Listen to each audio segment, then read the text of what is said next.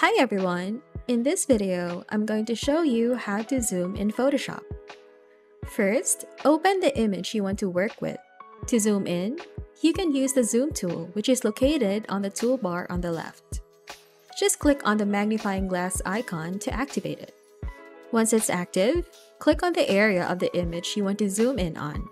You can also hold down the Alt key on your keyboard and click if you need to zoom out instead. Alternatively, you can use keyboard shortcuts. Press Ctrl and the plus key on your keyboard to zoom in, or Ctrl and the minus key to zoom out. Another way to zoom in is by using the Navigator panel. Go to the Window menu and select Navigator. This will open the Navigator panel where you can adjust the zoom level using the slider